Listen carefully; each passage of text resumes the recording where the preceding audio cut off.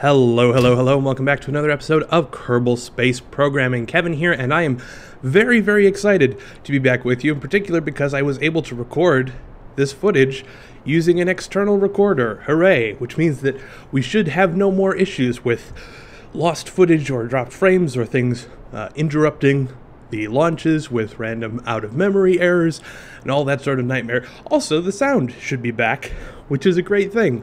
Um, so, yes, today we are launching a test, a series of tests. Because um, I've talked about this in the past, how, you know, basically our ascent profile, um, which we haven't really revisited because I've always just said, ah, I tweaked it and it worked. Um, that basically the way that we've set it up is to declare a series of uh, gradual steps, and that at a certain altitude it should set its uh, it should set its heading to a, to a certain pitch, and we just kind of go through and tweak that as uh, as we go through. Well, I think it's probably time for us to evolve that strategy because, in particular, with our last uh, mission when we were trying to load up uh, the fuel depot to the KSS it took an awful lot of tweaking, and even then, was only able to get it into an orbit that was kind of iffy. And so, um, for our first kind of test flight, I put together this very simple craft. It's got maybe 4,500 meters per second of, of delta V. Um, and I just grabbed one of our launch profiles that we've been using and didn't tweak it and just said, all right, let's go ahead and run it and see how that goes. And you see the engine cut off um, while it was still pointed mostly up, which indicates that yeah, we if we wanted to actually use that system, we'd have to do an awful lot of tweaking. And of course, this is still under four times time acceleration, and it's waiting to get to apoapse before it can go ahead and try and circularize. And you know, as you know, that has seemed to cause problems in the past. So today we're going to go through and I'm going to talk through some of the ways that we can evaluate how this stuff works. And there we go. We're finally doing our circularization. Um, and I've actually set up this craft so that we can profile stuff and try and determine you know better ways to come up with a more general solution for getting ourselves to orbit. And then once we have that, it should be a problem that we can mostly leave alone. You'll see there, it is actually reverting itself. So let's jump over to the code really quick and I can talk through what actually happened just there.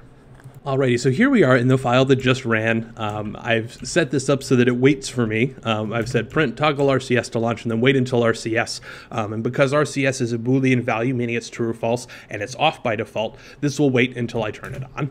Um, and then this is the strategy that I just kind of copy and pasted from previous episodes. We copy over our maneuver library, we copy over our ascent library, and then we define an ascent profile. And it's just a list of all of these random values. We say, all right, at an altitude of zero, you should have an angle of 90 degrees off of the horizon and an altitude of 500, an angle of 80 degrees, and I've kind of gone through and um, kind of as as the mission, uh, you know, as a particular craft doesn't work for a mission, I'll go through and say, uh, okay, maybe, you know, make it 60 here, or get rid of this, or you know, various things like that.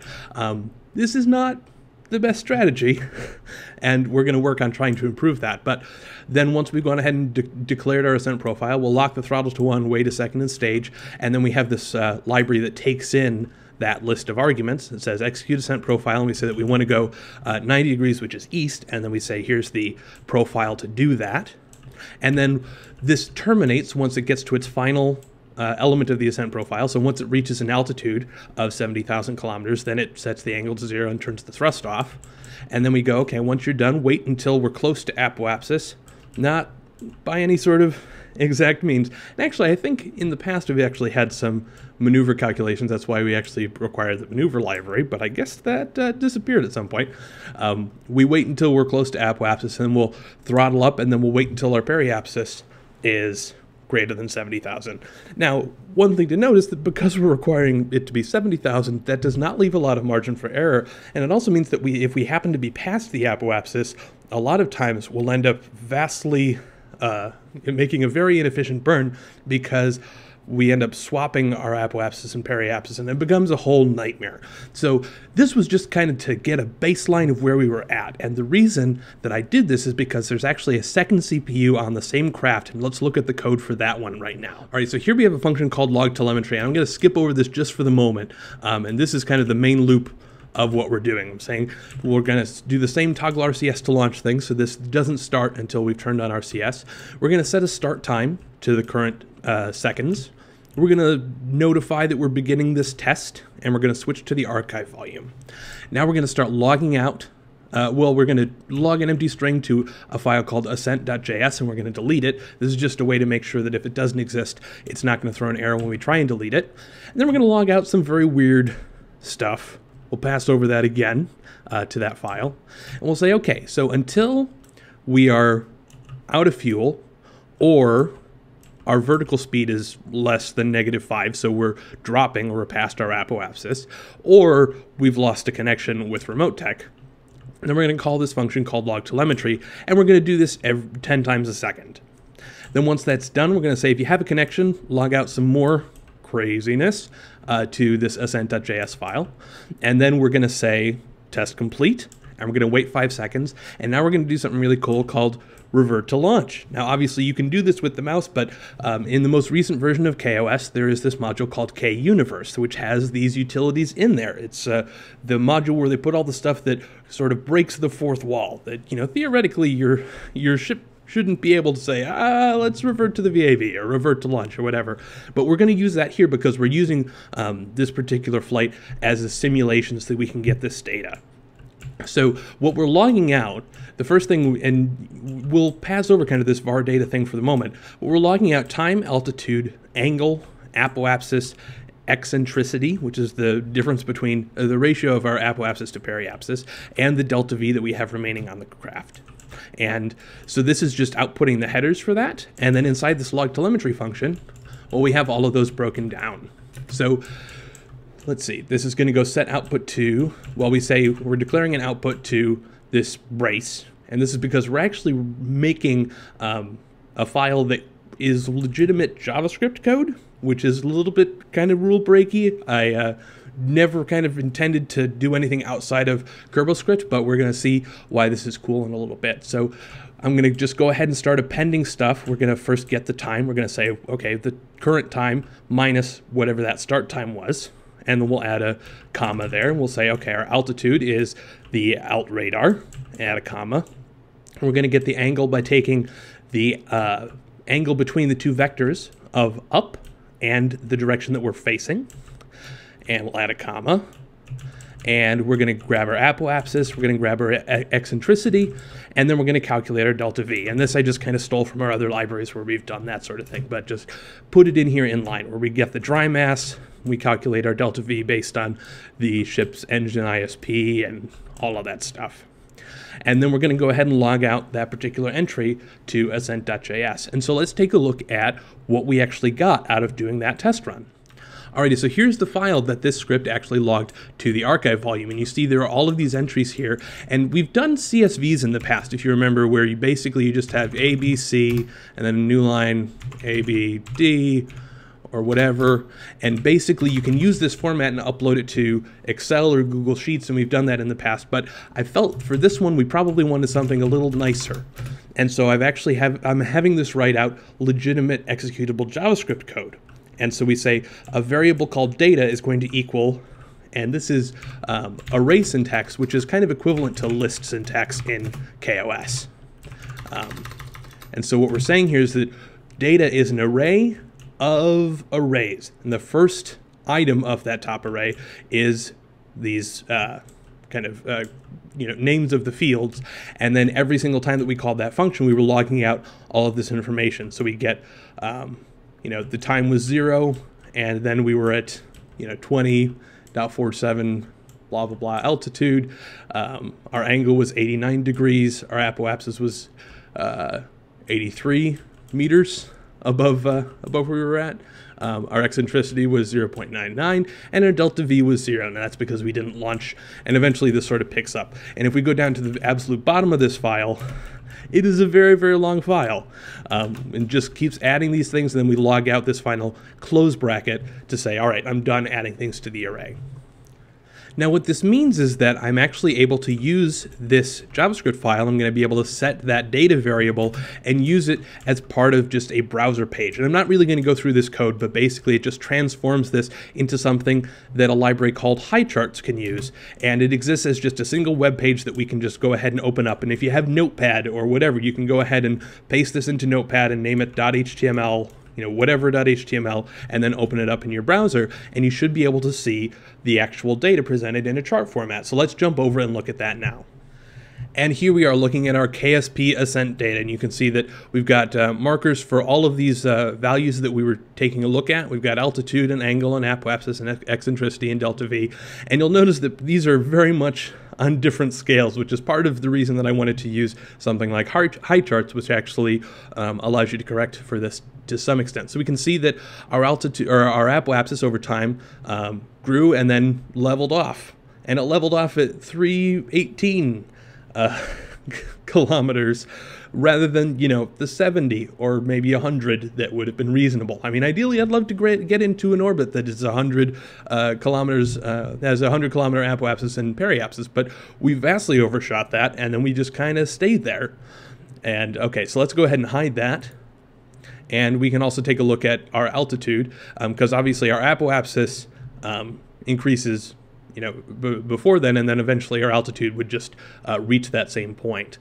Um, and if we hide this, then this thing is going to automatically scale because all of these are in different units. Um, you know, we're you know we're dealing with kilometers, which is you know, uh, uh, several hundred thousand. Um, whereas Delta V, we're dealing with. Um, okay, so that's that's where our craft kind of started out at, at a little bit more than uh, 4,000 meters per second of Delta V, and we can see that over this period of time, it uh, significantly dropped off, and then it remained flat. And then we see another dip, and that's presumably when we reached apoapsis, and we were trying to to uh, to circularize. And we can double check that by just looking at um, our apoapsis, and we see that yeah, even though it's uh, resizing the scale, we can see that that happens right around that same time.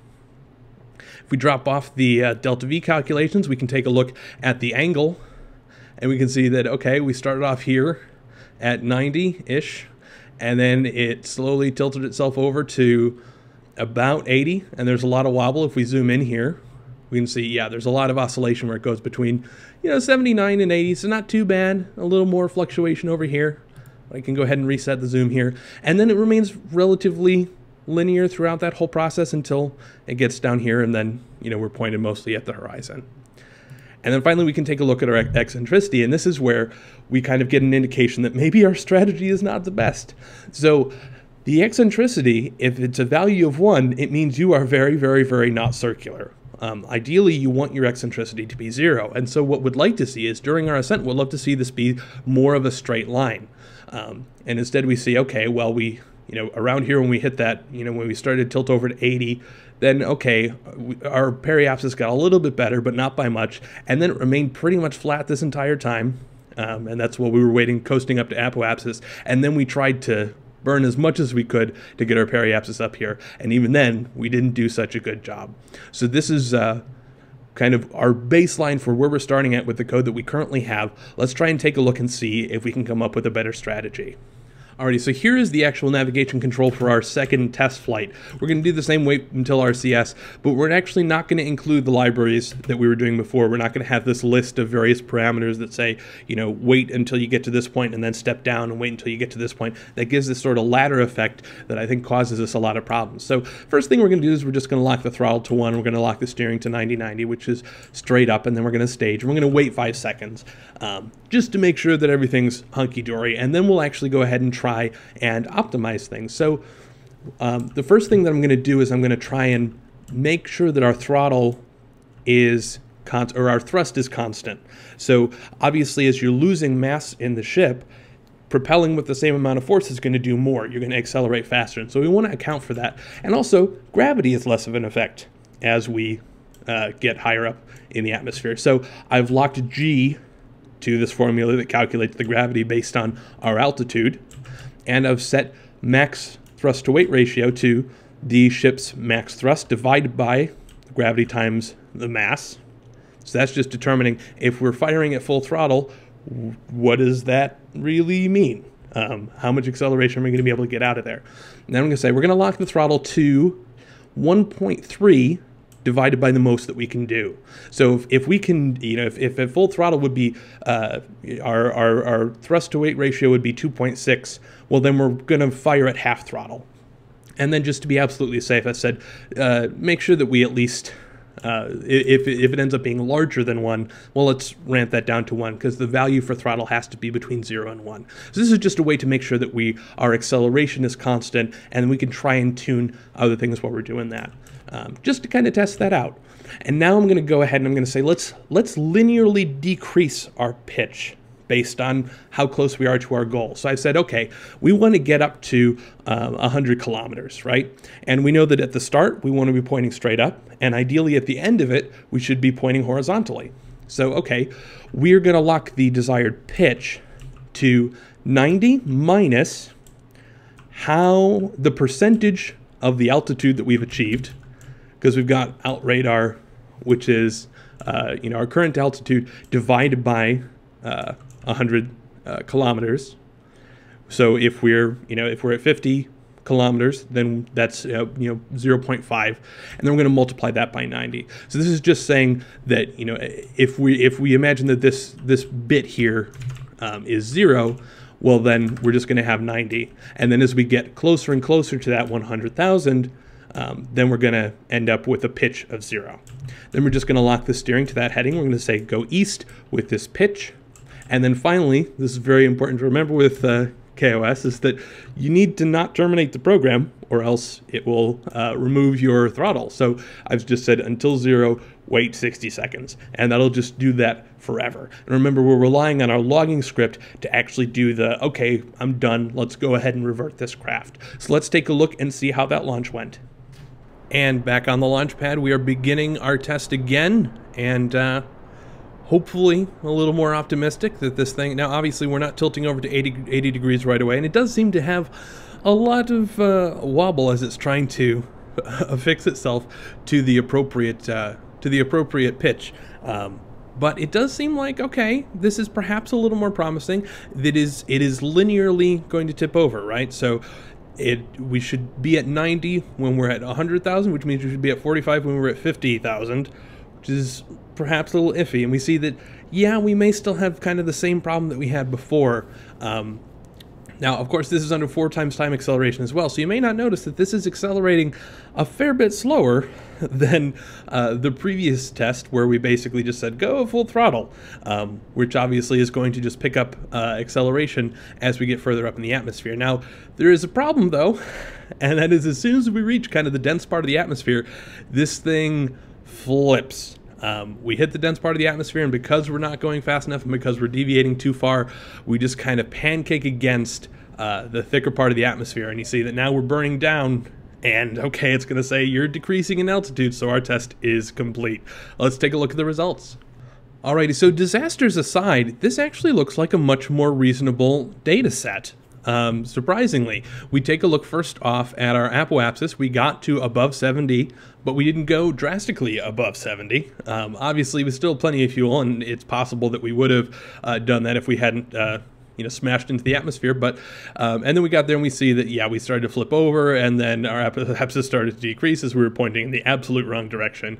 But that's fine, uh, you know, for what it is. And we see that now we actually have um, you know, in the previous one, we had this big spike in the apoapsis and then it flattened off, and then it was uh, kind of our altitude's job to just try and catch up with that. In this case, our apoapsis is just a little bit higher than our altitude, and that increases over time, but we're much more closely matching that, and we're, we're, we're trying to make sure that the difference between these two things doesn't become so drastic, um, because that means that we're probably pointing way too much up and not enough uh, lateral. So let's get rid of the apoapsis, and we can take a look, yeah, real quick, the altitude we got up there, and then it uh, it killed it as soon as it as soon as it recognized that we were going down. So we didn't see.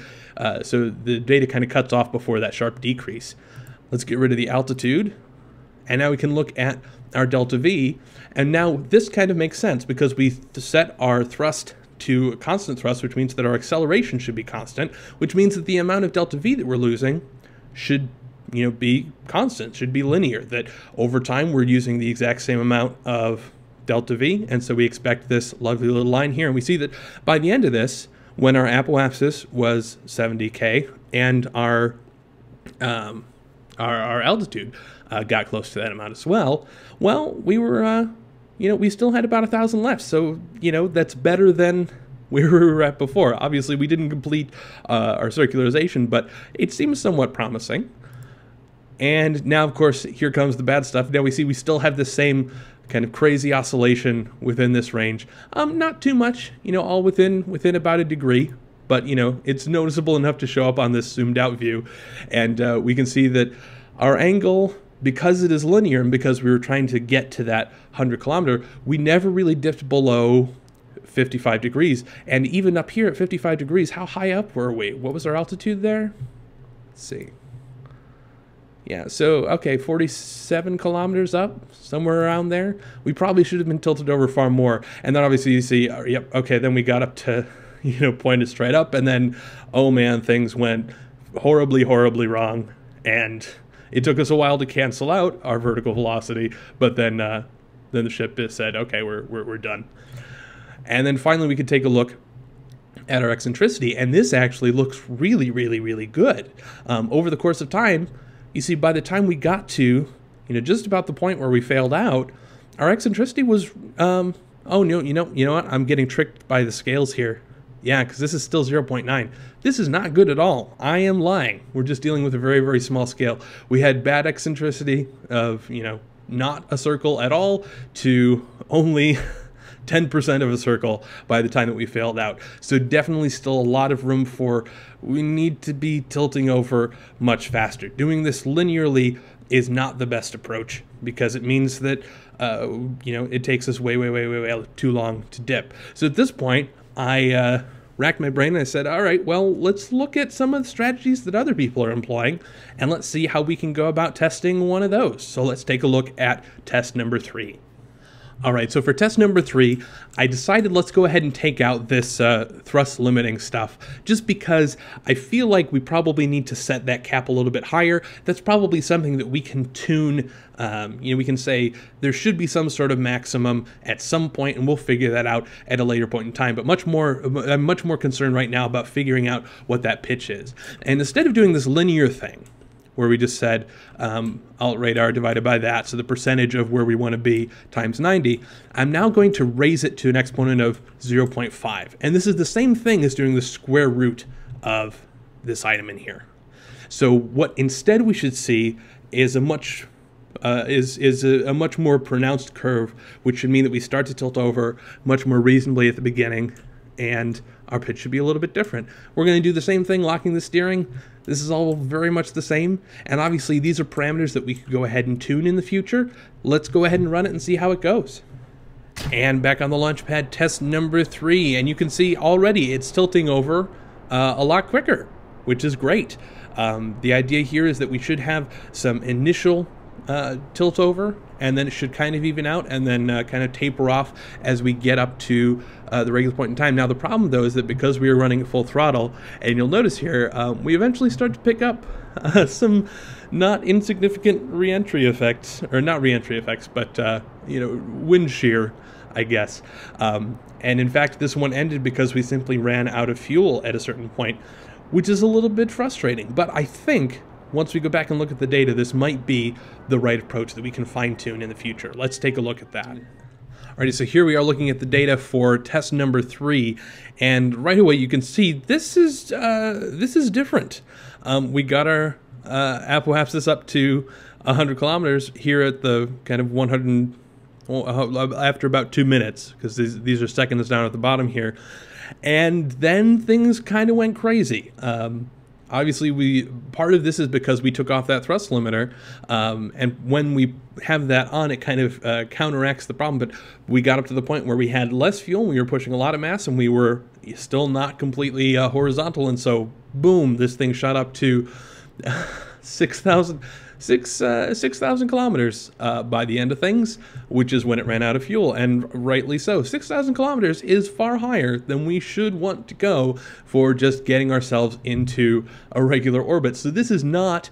Uh, not ideal. And you see, it's it's uh, so massive here that kind of everything else is just kind of pales by comparison. If we zoom in here, now we can see, you know, at least this component is more reasonable. And we can certainly say, you know, um, go until your apoapsis is like 120 and then just stop. And then we'll say, we'll hope that the air resistance by that point, um, you know, only reduces it by maybe 20. Um, by that point, we were at, you know, 43 kilometers off of, uh, off of the ground. Um, let me reset the zoom again. And if we take this off, we can take a look at our altitude. We got up almost to the point where we wanted to be, which is great, um, just shy of that 100 kilometers. But obviously, we ran out of fuel, so not the perfect thing. And, you know, we spent 4,000 uh, meters per second to do that. We take a look at our angle, and now we see, okay, this is looking a lot more reasonable. Um, still some oscillations here, and we see oscillations at kind of different points um, in the curve. But um, you can also see here that uh, now this doesn't, yeah, part of this is because we didn't get up to that 100 kilometers, so you, you don't kind of see the tail off here. Um, let's see if let's see if it looks a little bit clearer when we zoom in. Uh, okay, not so much. Um, but we're not seeing a linear curve this time, um, and obviously this is kind of uh, counteracted by uh, you know the the resistance to changes in uh, in pitch. But um, you know, hopefully this should this should be a little more reasonable. And by this time, we were at least down to 29 degrees, so we were pushing our apoapsis pretty crazy, but at least we were closer to that horizontal bit that we wanted to be at. Um, now, okay, looking at oh no, I have some. Yeah, I misclicked that. All right, our delta V now, of course, is back to its nonlinear form because we're just firing at 100%, which means that yeah, we're gonna we're going to drain it uh, faster and faster as we go along. So, you know, perhaps not the best. We, uh, we may want to go ahead and try uh, putting that thrust limiter back in and then maybe tuning it um, so that it doesn't end up having issues uh, with, uh, with the atmosphere. And then finally, here's the thing that I'm kind of excited about those. We look at our eccentricity and we start off as, yep, not a circle, not a circle, not a circle. By the time we get to uh, that point of uh, you know, was it 45 kilometers, something like that? We have put a lot of effort into our periapsis. We are like half circular, which is great because ideally we'd love our periapsis to be just shy of the same as our apoapsis by the time we reach orbit. I mean, in, in ideal conditions. And then obviously things went crazy when we just started shooting our shooting our apoapsis up to, uh, you know, six six thousand kilometers. But I think this has an awful lot of promise. So if we take a look back at our code, we can immediately see that there are a couple places that we can tune. So one of them would be to, you know, uh, you know, set a thrust to weight ratio cap. The other thing that we can do is actually start to tune this exponent here. So maybe it's not the square root, but maybe it's the 0. 0.6 version of root or 0.55 or whatever and we can go ahead and start tweaking that and maybe even you know set up some various offsets put this you know cap this at uh, you know, make sure that the angle is never uh, more than or less than certain amounts, or you know, perform just various offsets to this so that you know we can kind of tweak that profile. And I'm not going to do that in this video. I think I'm probably going to play with this a little bit before the next episode and try and get the values that happen to work for the stuff that I'm testing, because otherwise it would be an awful lot of test runs. But I just wanted to kind of show.